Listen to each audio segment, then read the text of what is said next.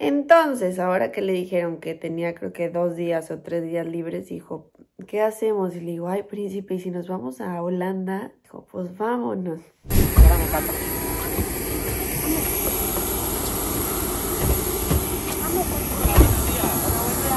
Yo soy Fernando.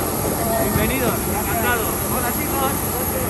¿Nos vamos? La verdad que empezamos a ver vuelos, pero no sé, mm, para Indoven no había como conexiones buenas, o más bien vuelos directos así que, que, que nos cuadraran bien en los horarios este, para poder aprovechar lo máximo. Y dice, ay, pues vámonos en avión privado, que al cabo la verdad que nunca lo hacemos, no sé qué. Y justo pasó que el avión tenía que ser para cierto número de personas porque para que llegara hasta Holanda y pues aprovechamos, invitamos unos amigos con nosotros.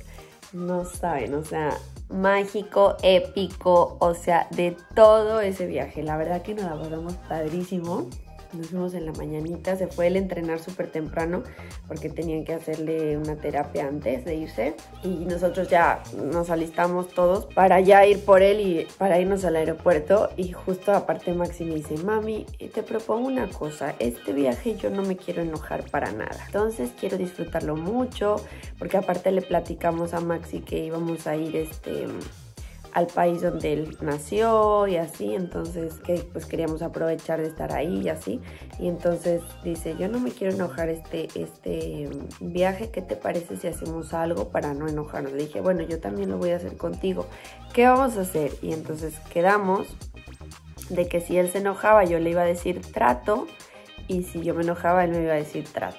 Entonces así nos teníamos que acordar en ese momento y ya no nos íbamos a enojar más. Pues nada, o sea, desde la ida ya íbamos súper felices de que nos tomamos una cervecita, este, brindamos con champán y bien.